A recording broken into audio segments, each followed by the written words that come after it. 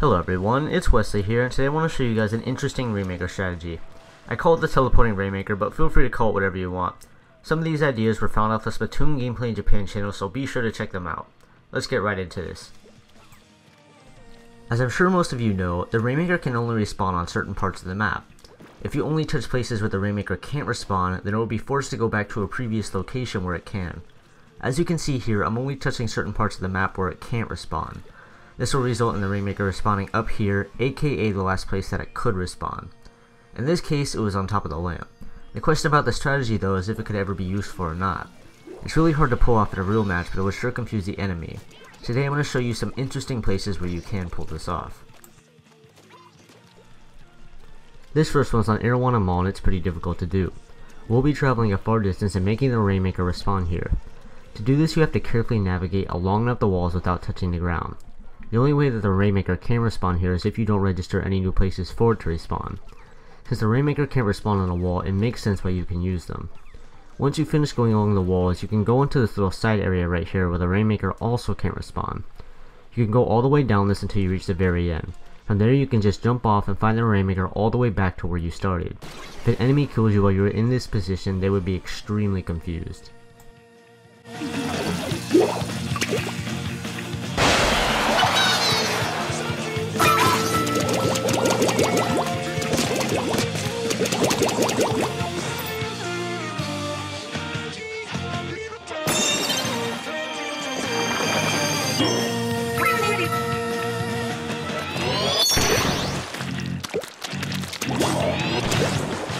This next one is also on Arowana Mall and it's a lot easier to do.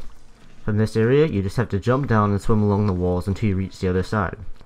Once there, you can just wait to die or jump off. Just like last time, the Rainmaker should respawn to the place that you first jumped off. We only touched the wall, so it was forced to respawn to the last time I was on solid ground. This isn't as far as the other one, but it's still pretty confusing if the enemy was to kill you there.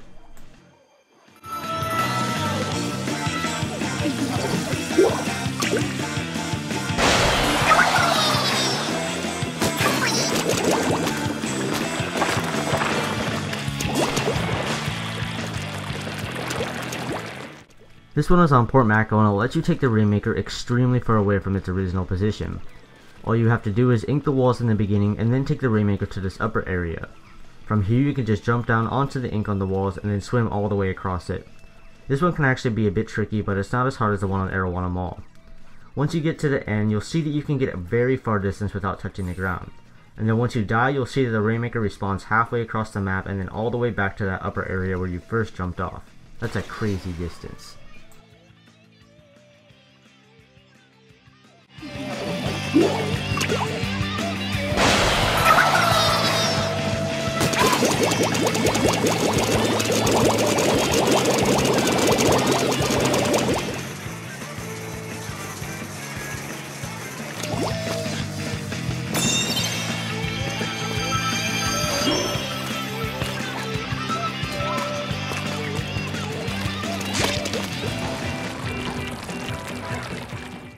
This last one is on Walleye Warehouse.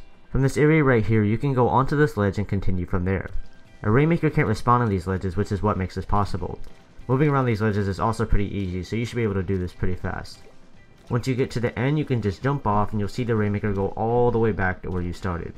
This is definitely one of the easier ones, but it's also pretty fun to do.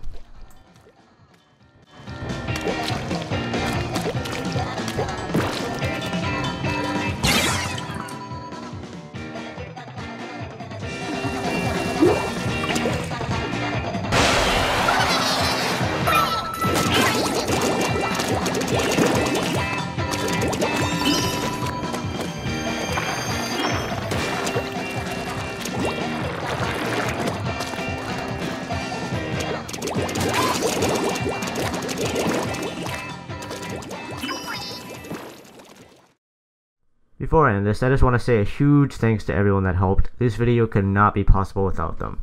Be sure to check them out in the description, and their names should also be displayed on the screen. Hope you guys enjoyed this video, and let me know if you want more videos like these. See ya!